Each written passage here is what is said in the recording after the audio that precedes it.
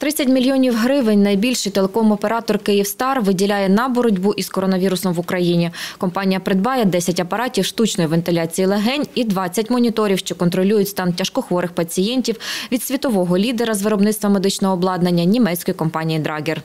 Великий бізнес не може залишатися осторонь у такі складні для країни та світу часи.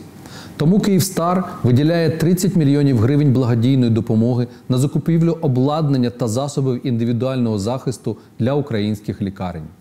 Ми віримо, що це обладнання слугуватиме не лише в боротьбі з пандемією, а ще довгі роки рятуватиме людські життя. Також «Київстар» виділяє кошти на витратні матеріали, що забезпечать роботу обладнання протягом року та засоби особистого захисту для українських медиків, які зараз знаходяться на передовій боротьби з вірусом. Проект реалізується у партнерстві з благодійним фондом Твоя опора.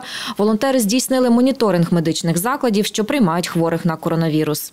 Я очень нам всем желаю никогда не воспользоваться этим оборудованием, этими материалами, ничем. Очень искренне желаю.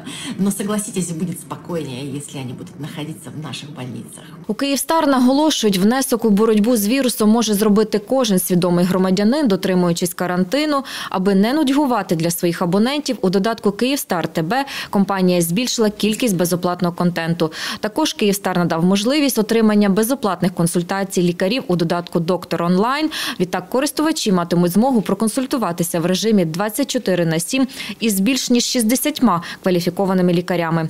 Крім того, компанія зробила безоплатними дзвінки на номери державних гарячих ліній і нетарифікований доступ до офіційних інформаційних ресурсів. Та найголовніше, Київстар закликає українців залишатися вдома.